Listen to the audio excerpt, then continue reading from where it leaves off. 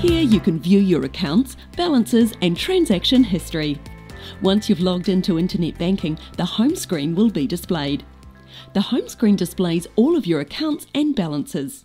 From here, you can access more account details by clicking on the three orange dots on the right hand side of each account. To view your transaction history, simply click on the account that you wish to view.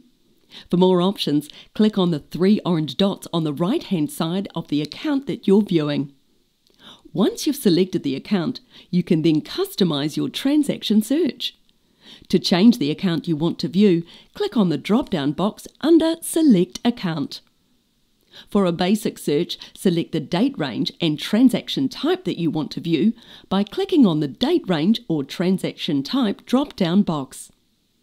If you're looking for something specific, choose Advanced Search. Here you can search by transaction value, payee name, payment reference, withdrawals, deposits, or date range. If you want to download the transactions, select Export Viewed or Export All. You can choose which format you'd like to download the transactions list in by clicking on the drop down box. Select Download.